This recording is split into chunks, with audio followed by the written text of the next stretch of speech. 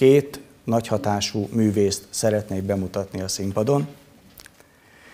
Vagy akár úgy is mondhatnám, mint egy sakjátszmában két nagymester találkozója következik.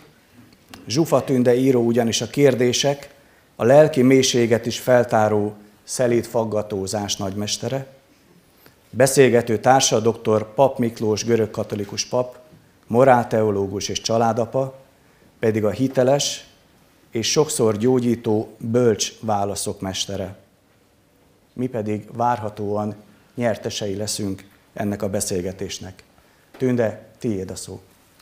Köszönöm szépen, Gábor. Olyan szépen mutattál be, hogy most valójában zavarba vagyok, és nem ismerem akkor feltenni a sarokba szorító kérdéseimet. Az nem, nem egyezik a szelítséggel. Miklós atya, abban egyetértünk, hogy amikor világra jövünk, akkor azért nem nulláról kezdjük az életet. Tehát szüleink, nagyszüleinknek az értékei, a kincsei, de a sebei is meghatározó pontok az életünkben. Mondjuk, hogyha valaki egy kislány katolikus családban nő fel, akkor az hogyan tud tudatosan készülni a szentségi házasságra, hogyan tud tudatosan felkészülni a szeretetre, az igazi szeretetre, és ami a legfontosabb, hogy hogyan tudja azt elérni, hogy a szentségi házasságban ne dőljön hátra, és ne legyen kényelmes katolikus. Ezt a kifejezést tőle tanultam. Köszöntök mindenkit szeretettel. A kulcs szó az, hogy tudatosan. Azt látjuk a mai fiataloknál, hogy olyan tudatosan készülnek arra az életpályára, jó ez a kulcs szó, életpálya, hogy ők mit szeretnének dolgozni.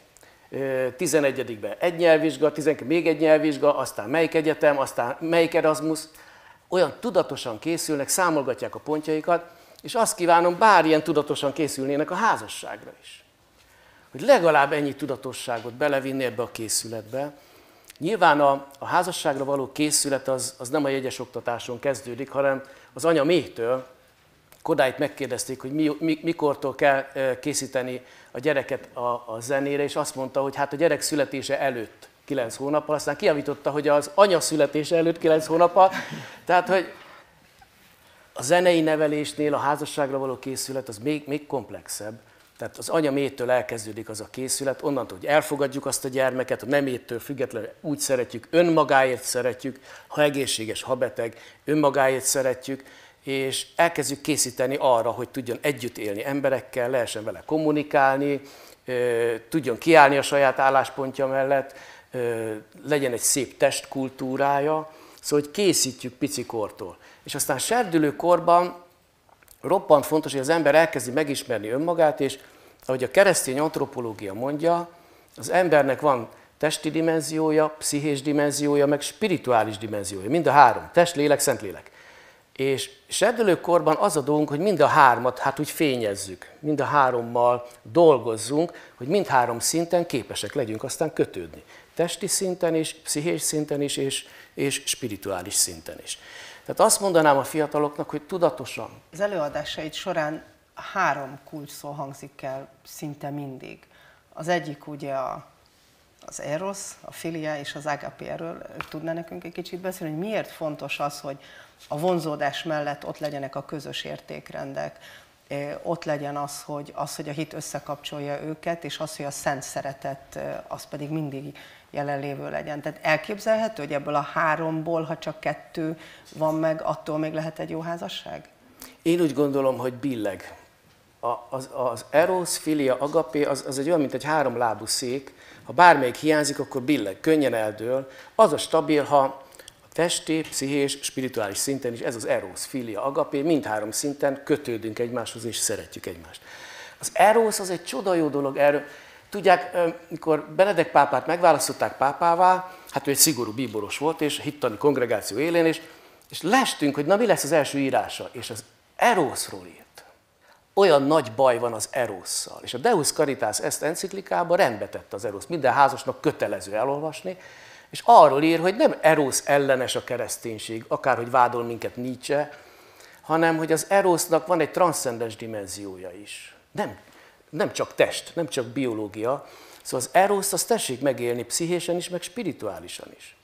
az nem csak testi kielégülés, meg, meg, meg a gyermek nemzésre való, és az erosznak legyen egy tág kultúrája. Hát a gyerekeink azt látják, hogy ordítunk egymással otthon, de azt is lássák már, hogy anya-apa megölelgeti egymást, megcsókolgatják egymást, lássanak egy gyöngétséget is egymás felé.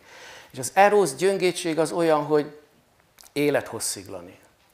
Tehát itt, itt az utolsó, feleségem utolsó erotikus mozdulata az lesz, amikor fekszem majd az intenzív osztályon, így csövek lógnak belőlem, és még, még megcsókol, még megborotvál, vagy ha ő lesz ott, akkor kisminkelem egy kicsit. Tehát, hogy, hogy a, a testi érintés az sok, sokszor többet mond, mint a sok okos szó. Nem szabad ezzel fukarkodni. Mindenki nagy a nyomás, ö, ö, ott a csoka a nyakunkon, meg nehéz, az, és, és fontos megérinteni, megölelgetni a másikat, nem is csak a szexuális aktus, hanem ez a tág erósznak, ez a tág kultúrája, élethossziglan, élethossziglan. A másik a filia, hogy, hogy azzal tudok együtt haladni és döntéseket hozni, aki, aki fejben is a barátom, akivel egy húron pendülünk, közös az értékrendszerünk. És nyilván egy értékrendszerben vannak fontosabb dolgok, meg vannak kevésbé fontos dolgok, értékhierarchia van, de a fontos dolgokba egyezni kell. Tehát az, az lőzünk, hogy ellentétek vonzák egymást. Azt szoktam mondani, hogy képzeld már el, hogy te hűséges akarsz lenni, a párod pedig azt mondja, hogy meg lehet téged csalni, csak ne vedd észre. Ellentétek itt hogy vonzák egymást, meg hogy, hogy egészítik egymást? Nem, ez szét fogja verni a házasságot. Tehát ez nem igaz. Igenis fontos az, hogy az értékrendszerünk a fontos tételekben nagyjából egyezzen. És hát ezt, ezt a meccset le kell játszani.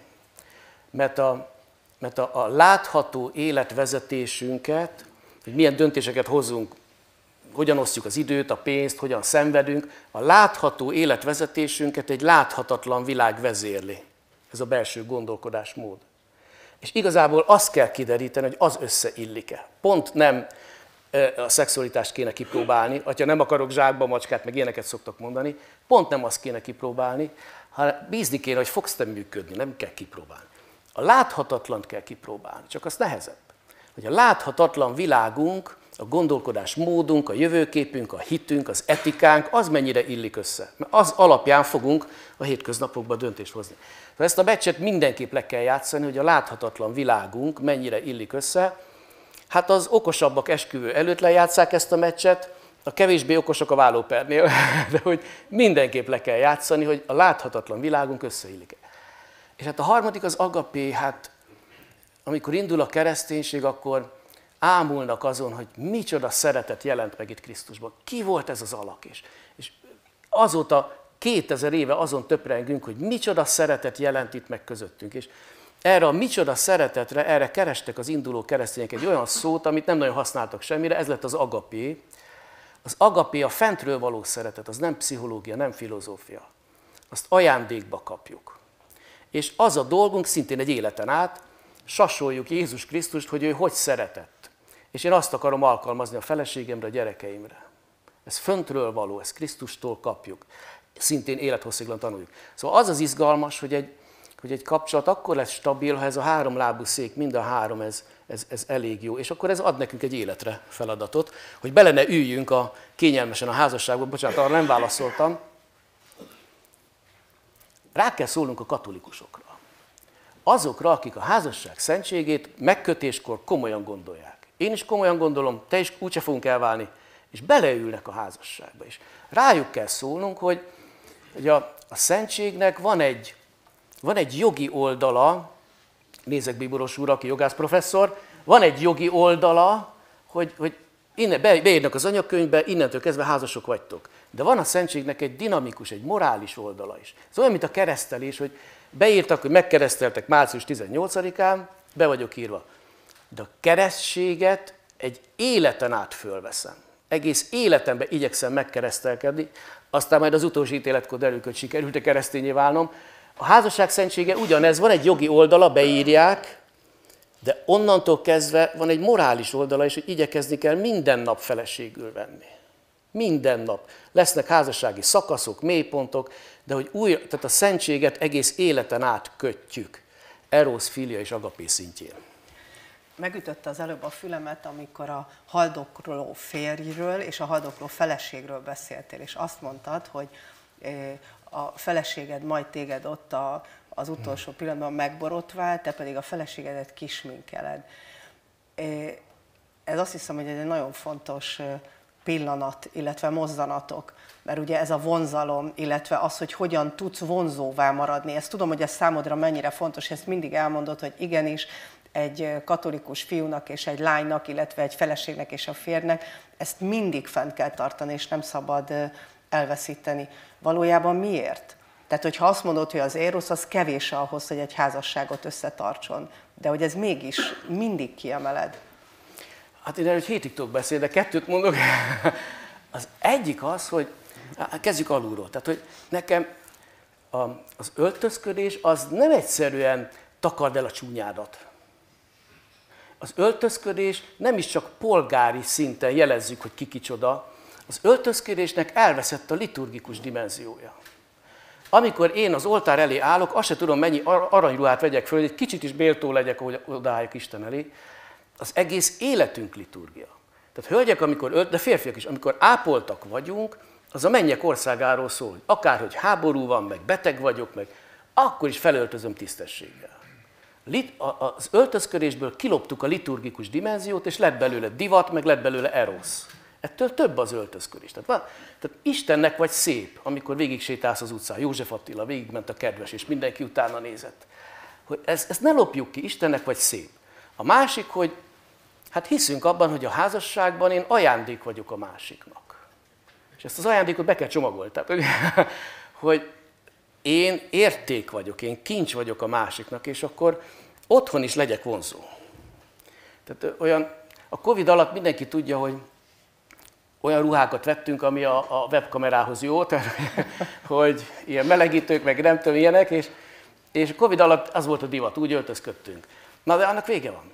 És, és biztos minden nőnek van otthon olyan ruhadarabja, ami, hogy mondjam, a férjem előtt még jó. Hölgyek, a buksinak tessék kiadni, jó, ezeket a ruhákat.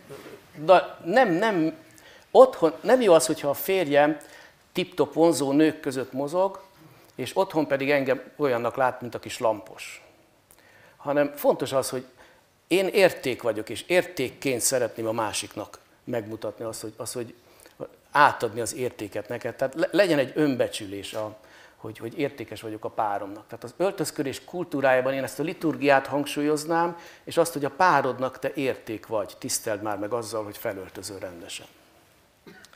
Menjünk most vissza egy kicsit a startmezőre házasság kezdete. Ugye azzal együtt értünk, hogy akkor mindenki rajta van a rózsaszín szemüveg, egy nagy köd van, homály, és akkor az az a pillanat, amikor mind a két fél elfogadja azt, hogy amit kapni fog, abba belemennek. De ott a homályban még nem tudjuk, hogy a Jóisten milyen lapokat fog nekünk kiosztani. És mi történik akkor, amikor ez a homály elmúlik, és hirtelen rájövünk arra, hogy mi nem azokat a lapokat kaptunk, amire készültünk. Gondolok itt, amit Bíboros úr is említett, hogy a, a tragédiáknál, hogy nem lehetnek gyerekek, vagy elveszítjük a magzatokat. Hogyan, hogyan lehet a házasságot egyben tartani? Tudod azt, hogy jóban, rosszban, egészségben, betegségben? Az ipari forradalom óta azt érezzük, hogy az embernek fejébe szállt a gők, hogy legyártom. Az ipari forradalom óta, ha valamit akarok, akkor legyártom, megcsinálom. És ma a boldogság egy termék lett, amit te csinálsz. És úgy kötök házasságot, hogy nekem van egy projekt a fejembe, ahhoz választalak téged, csináljuk együtt, legyártjuk. Akarunk három gyerek, négy kerék, öt szoba, vagy hogy van ez? Tehát, hogy legyártjuk. Honnan tudod? Tehát az a bajom, hogy az életben nem lehet mindent tervezni. És az életben vannak váratlanságok, akinek kicsit is ősz a haja, jól tudja, hogy hány olyan kanyar volt az életében, amit ő 20 évesen nem tervezett. És akkor? Tehát kicsit azt mondanánk a házasoknak, nem fog tetszeni, amit mondok, hogy engedelmesség. Engedelmeskedni a létnek, a sorsnak, az Istennek.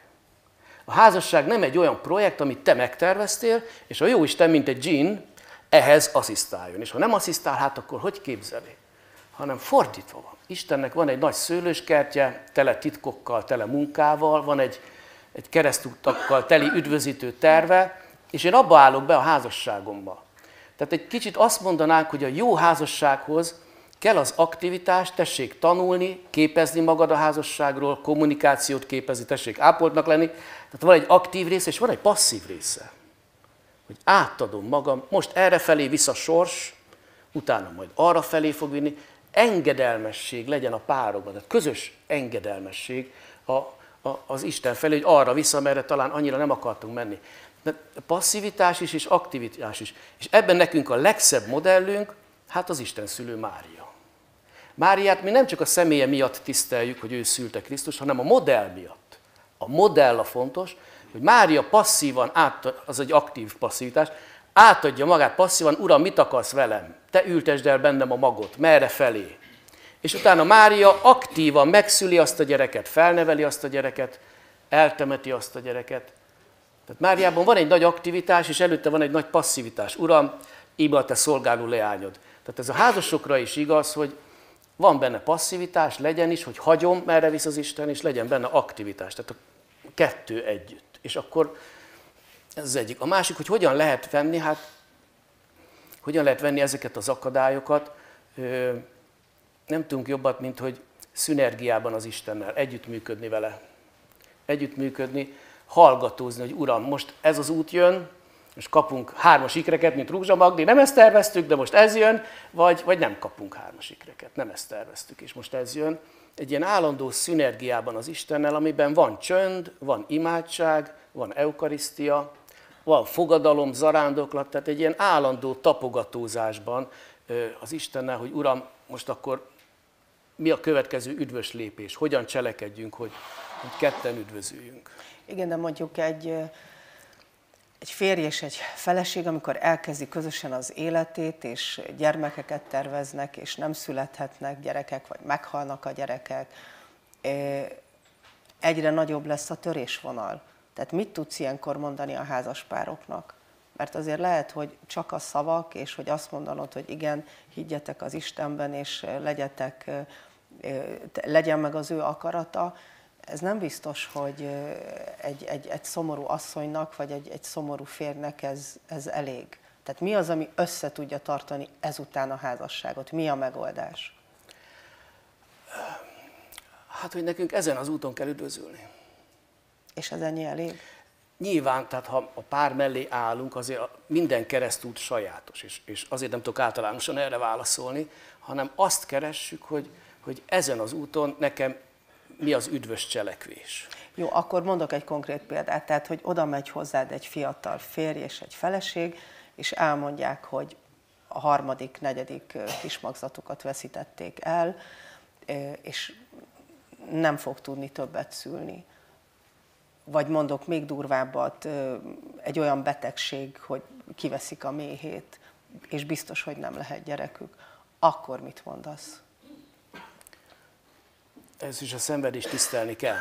Tehát a szenvedést nem szabad kiokoskodni. A sötét az sötét. És a sötétségnek van egy olyan misztériuma, amit én hiszek azt, hogy, hogy ott csak Krisztus tud mondani olyan okosat, ami igazán vigasztaló. Tehát nem próbálok papként sem úgy beletolakodni oda középre, hanem tisztelem a te egyéni ö, ö, szenvedésedet és egyéni keresztutadat. Ezt én kicsit fordítva megtapasztaltam, mikor volt egy olyan balesetem, hogy eltört a gerincem, így össze-vissza vagyok furva, és kicsit tényleg úgy éreztem magam, mint egy betongyűrűbe, hogy mindenki odajön, és megsirat. Anyukám, mennyasszonyom, testvérem, mindenki megsirat, hogy tolószékes leszek, meghalok, mi lesz velem, és utána mindenki hazamegy. Tehát akármennyire akarnak belépni az én betongyűrűmbe, nem tudnak belépni. Egy valaki viszont be tud lépni, és ez Jézus Krisztus, de ő be is lép. Tehát ilyenkor nekem az a dolgom, hogy ezt a Krisztust közvetítsem afelé, aki a maga keresztútját járja, hogy nem vagy te betongyűrűben, hanem ahova az én emberi okoskodásom és az emberi humán tudományok nem tudnak bejutni, oda Jézus Krisztus be tud lépni. És az a poén, hogy van utána tovább. Tehát, hogy mégiscsak az összes energiámat, amit nem a gyermekeimre fordítok és a saját családomra, hanem akkor azt hogyan tudom mégiscsak szeretetre fordítani. Nagyon egyszerűen úgy tudom mondani, hogy gyerek nélkül lehet üdvözülni, de szeretet nélkül nem. Tehát, hogy neked azt kell megtalálni, hogy, hogy te hogy szeres, kit szeres. A szereteted mégsem maradjon meddő. És akkor ebbe kell egyénileg segíteni. És hogyan lehet nem csak együtt élni, hanem együtt érni is a házasságban? Hát az roppant fontos. Az roppant fontos, hogy az olló ne nyíljon ki. Tehát tegyük fel, hogy jól megkötjük a házasságot, gratulálok, találtál egy hozzád illőt, szépen megkötjük. Eltelnek az évek, és ha nem figyelünk egymásra, ki tud nyílni az olló közöttünk. És még pszichológusokkal is megtörténik, görög katolikus lelkészsel is meg tud történni, hogy az egyikünk meredekebb pályán érik, a másikunk nem nagy gazember, csak ő úgy lassabban érik.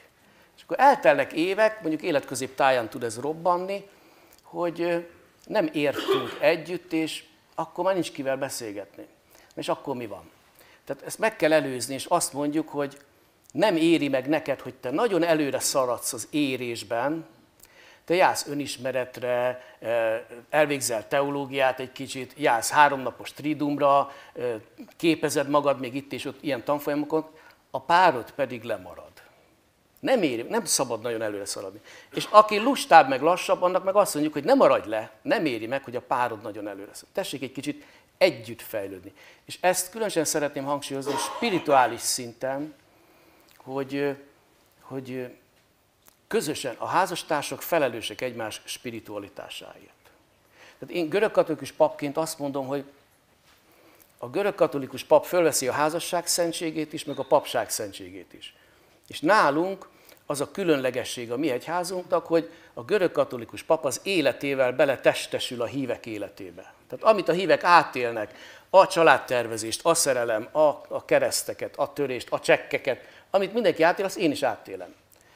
De hogy itt nem csak arról van szó, hogy a, a pap fölveszi a házasság szentségét és a papság szentségét, hanem a hívek is. A híveknek is megvan a házasság szentsége, és a keresztség révén az általános papság. Tehát mindenki pap.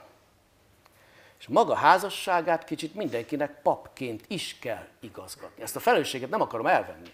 Aranyszájú János úgy mondja, hogy én hetente egy órát vagyok neked meg a gyerekednek papja, te egész nap. Tehát mindenki papja a, a maga házasságának. És ez azt jelenti, hogy imádsággal imádkozni a családomért, zarándoklatok, családi zarándoklatok, családi szentségeknek a családi vétele, otthon legyen egy spirituális légkör, legyenek kint ikonok, keresztek, tehát hogy kialakítani azt a, azt a keresztény spirituális légkört. Ez mindenkinek a saját papsága és a saját, a saját feladata. Nagyon röviden be tudna nekünk mutatni azt, hogy a házasságnak, tehát a kezdettől egészen a halálig, röviden, hogy milyen szakaszai vannak, és hogyan vesszük azt észre, hogyha kinőttett szakasz, hogy azt megérzik-e a házasság, a házaspárok. És itt most nem erre gondolok, hogy amit így emlegetnek, hogy a bűvös hetes szám, hogy akkor mi történik, mert, hanem, hanem a szakaszok, tehát a kezdetek, a házasságkötés, a gyerekfogantatás, gyerekszülés, aztán nevelés, kirepülnek a gyerekek, és a többi, és a többi. Hát a há- betegség. A házasság első szakasza, amikor nem költöztünk össze jó esetben, hanem akkor kezdünk összeköltözni, és akkor kezdjük össze bútorozni, nem csak a bútorokat, hanem a világnézetünket, menetrendünket, hitünket, és az első időszak arról szól, hogy, hogy felépítünk egy ilyen láthatatlan házikót magunk körül. Mindenki hoz magával egy láthatatlan házikót, családi kincsek, családi púpok, családi minták, családi sebek, hozunk magunkkal dolgokat, és akkor ebből úgy téglánként kiválogatjuk, hogy, hogy mi az, amit viszünk a tovább a saját családunkban, mi az, amit úgy mondja a Biblia, az ember elhagyja apját, anyját, van, amit ott kell hagyni, rossz mintát. Ott kell hagyni. Egy életen át nem mutogassak apámra, hogy apám is így csinált, és ő. Nem mutogassunk apánkra. Ami rossz minta volt, azt ott kell hagyni. Visszük a, a, a tégláinkat, és akkor ebből összerakunk egy közös házat. Ez az első szakasz. Kialakítjuk a saját családi, családi stílusunkat. Aztán következő reméljük, hogy jön a gyermek, és akkor anyává, apává válunk, egy, egy, egy csodálatos történés. Egy csodálatos történés. Olyan sokat hallom, akik hát ezt nagyon halogatták, hogy Istenem, milyen jó apának lenni, miért vártam én ezzel ilyen sokáig, hogy, hogy isteni érzés. Szó szerint a zsinat így mondja, hogy a Teremtő Istennek a teremtőnek a tolmácsai leszünk, a munkatársai leszünk. Úgy mondja Akvinoi Tamás másodlagos okok, tehát hogy együtt működünk a teremtővel. Valaki még nem volt, és a mi szerelmünkből egy új élet elindul. Isteni. Isteni. Tehát direkt akarom ezt a spirituális dimenziót, nem, a, nem csak a pszichéset, hogy, hogy kismama, kispapa lettél, hanem a spirituálisat, hogy, hogy a teremtésben valami olyan valakit indítottam el, akit ha hónap előtt minket a villamos, nekem akkor is lesz örökké gyerekem. Isteni Szóval ne, ezt nem kell nagyon halogatni, hanem ha csak lehet, időben el kell kezdeni gyermekeknek életet adni. Ez aztán egy új fázis lesz az életben.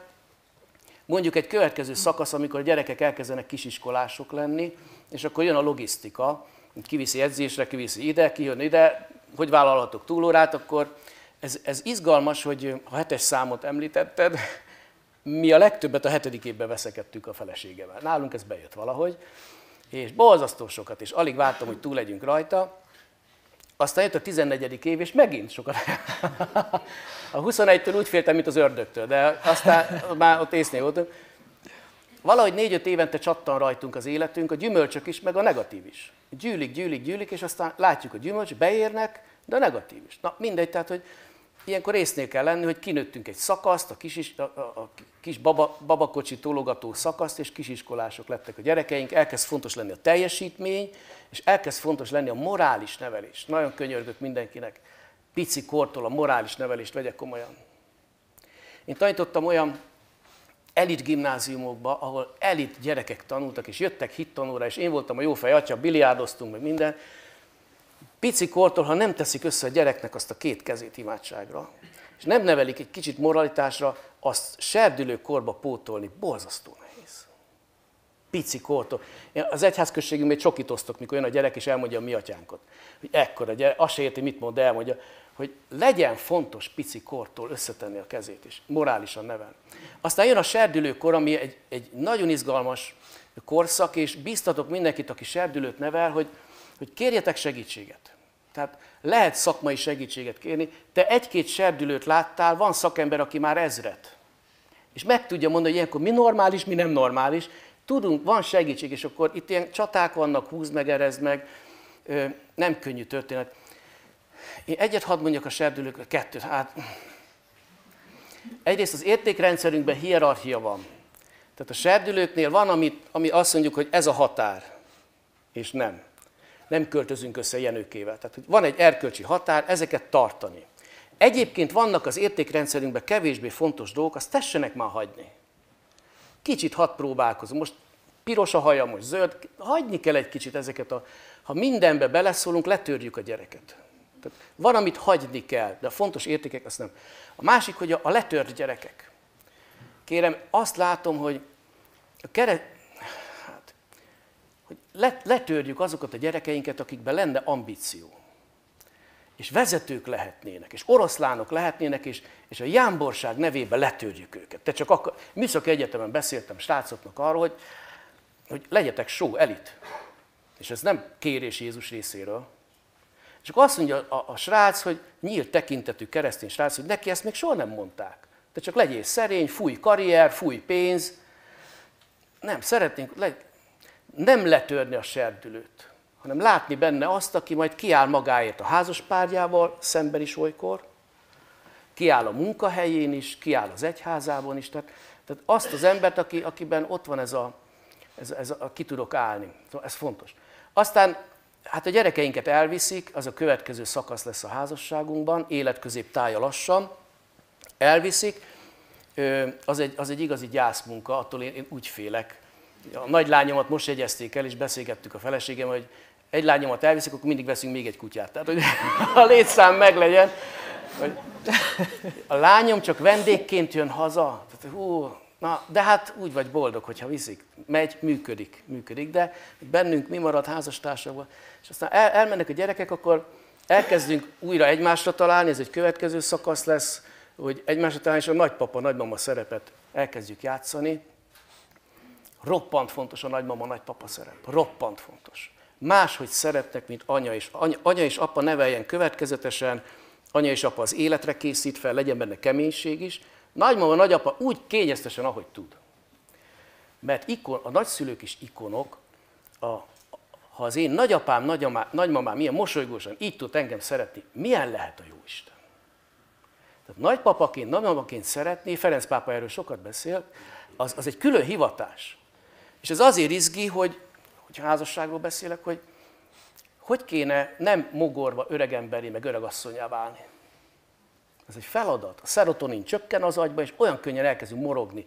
Én is, mindenki. Busz megállóban nézem a fiatalokat, milyen szülők lesznek, ez hogy közlekedik, ez a politika, hát ez az egyház is, mindenre morgunk. És ha nem vigyázunk, ilyen lesz az arcunk. Morgó, a lelkünk is mindenért morog, ráadásul az ember intelligens, akkor tényleg van miért morogni. Saját gyerekeim, magamra is, házastársam is, az egyházamra is, a politikára is van miért morogni. De vigyázzunk, mert így maradunk. Tehát nem, nem, nem szabad megengedni, jóságos nagymamával, nagypapával. És akkor a vége az, hogy készülünk a halára, és itt megint hadd mondjam azt, hogy a halára való készület ne legyen tabu. Tehát, hogy merjük azt mondani a felnőtt gyerekeinknek, hogy, hogy szeretném, ha oda temetnétek, ebbe a ruhába, a, megvesszük az helyet, tehát, hogy merni beszélni erről, és az élet középen járókat is fel, és ugye ők lepattintják, mama száz évig él, hagyjuk mama ne beszélni, hagyni kell, hogy ő készítse az élet közé, és a gyerekeket.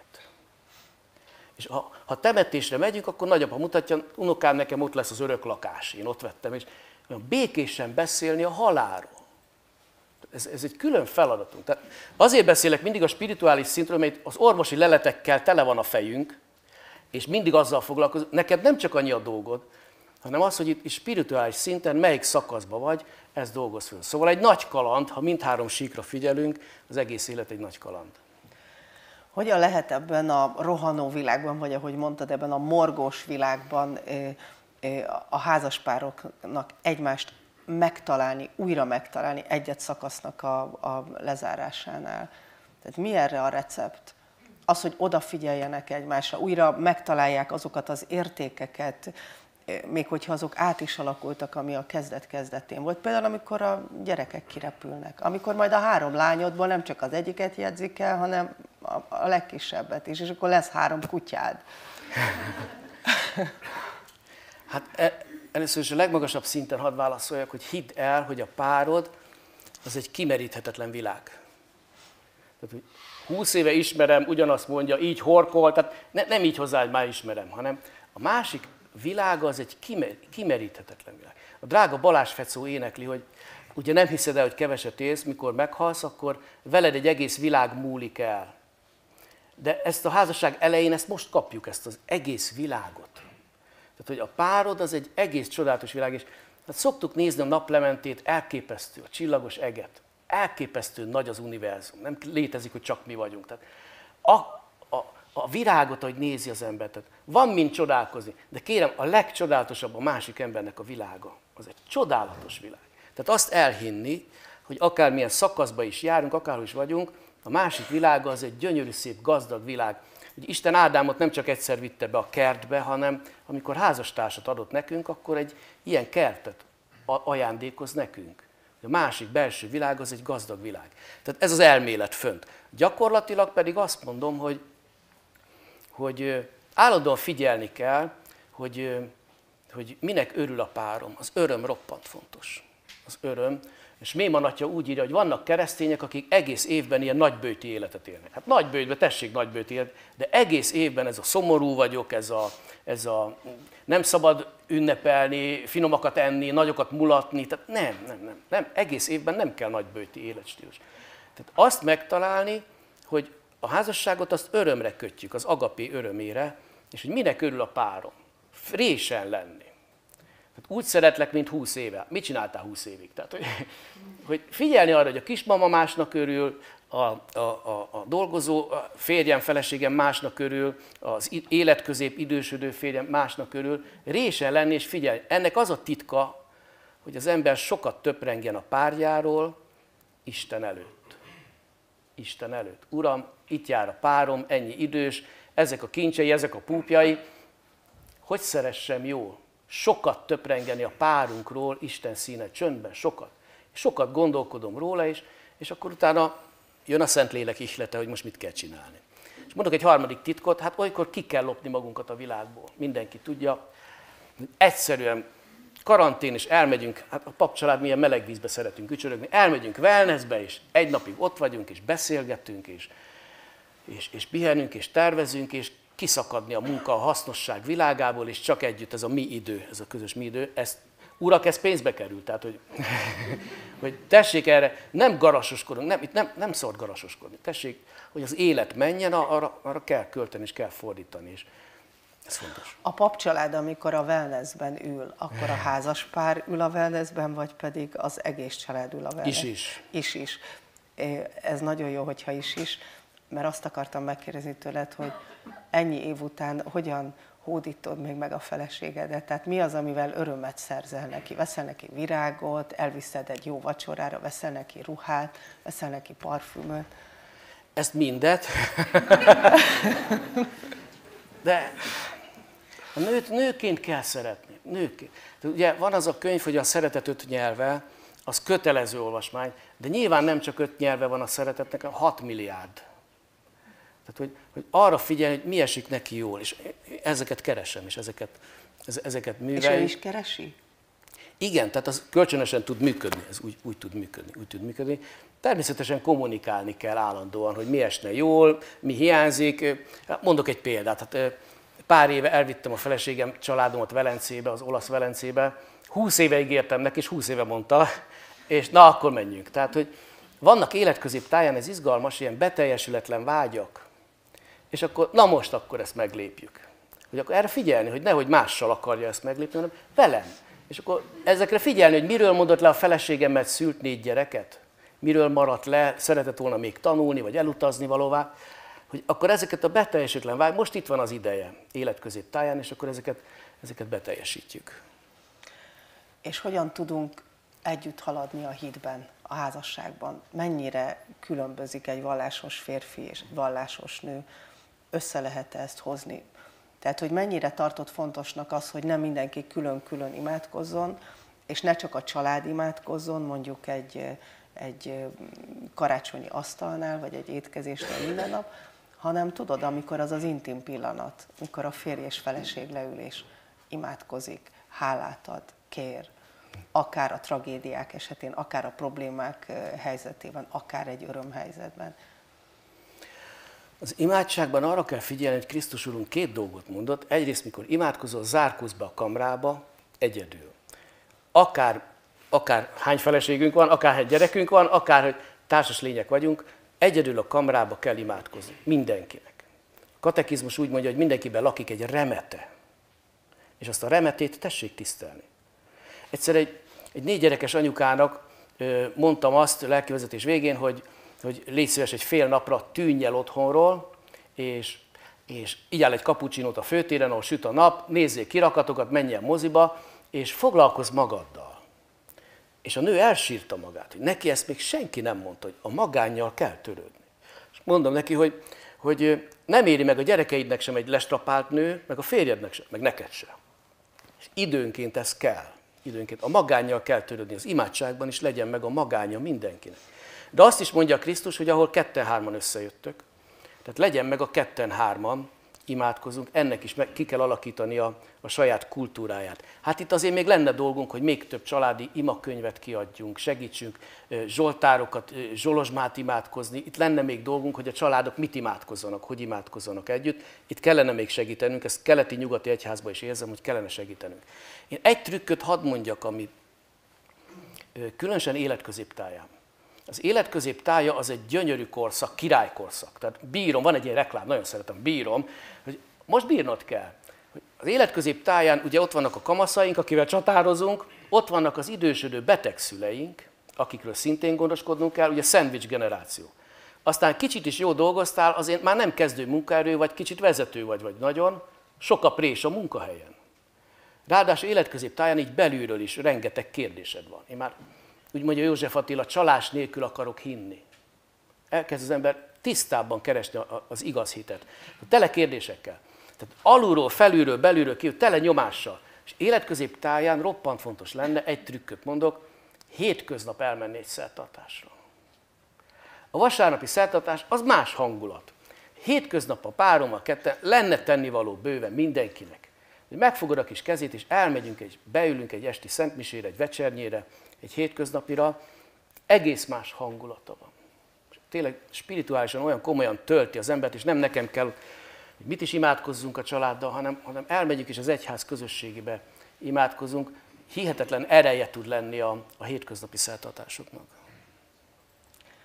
Így a beszélgetésünk végén arra szeretnélek kérni, mert most tegyük félre a Gábor által emlegetett saktáblát, tehát ne adjunk egymásnak mattot, hanem arra szeretnélek megkérni, hogy játszunk olyat, hogy most kapsz mondjuk egy fél percet, vagy egy egy percet, és egy reklámszöveget mondjál fel, így csuklóból, a fiataloknak, hogy miért ne féljenek a házasságtól, miért kell dönteniük, miért ne halogassák a döntést, és hogy miért van szükség arra, hogy tényleg fiatalon, olyan fiatalon házasodjanak össze, hogy hadd lehessenek később nagymamák és dédnagymamák úgy, ahogy a, a, a mi generációnknak a, a nagyszülei.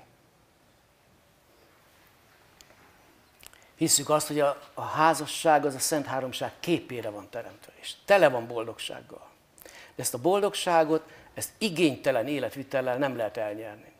És ezért javasoljuk, hogy igényesen tessék készülni, serdülőkotól igényesen készülni, igényesen párt választani, akivel az erosz, a filia és az agapé szintjén is tudtok kötődni, mert igényes boldogságot az csak igényes élettel lehet elérni. Az egy naivitás, hogy én bűnösen élek, olcsón élek, csak a szakmai életet veszem komolyan, az naivitás, de én nagyon boldog leszek. Hanem, hogy a házas életbe, a családos életbe a Szent Háromság rengeteg örömet rejtett el, amit akkor lehet lehívni, hogyha az ember igényesen él mindhárom szinten. És azért is jó házasságot kötni, mert a, ami a csodálatos, hogy, hogy életet adhatunk gyerekeknek. Olyan, olyat a teremtéshez hozzátehetünk olyat, aki, akik eddig nem voltak.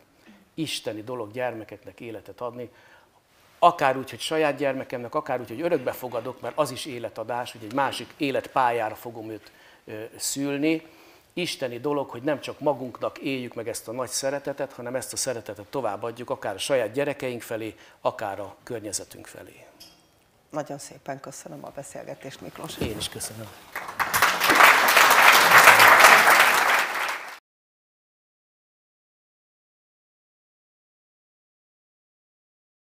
Életünk során különböző nehézségekkel kell megküzdenünk. Párválasztás, függőség, gyermeknevelés nehézségei, házassági krízis, magány, demencia. Nem mindig könnyű belátni, hogy segítségre szorulunk. Sokszor azt sem tudjuk, hol találjuk a megfelelő szakembert, aki segíteni tud nekünk.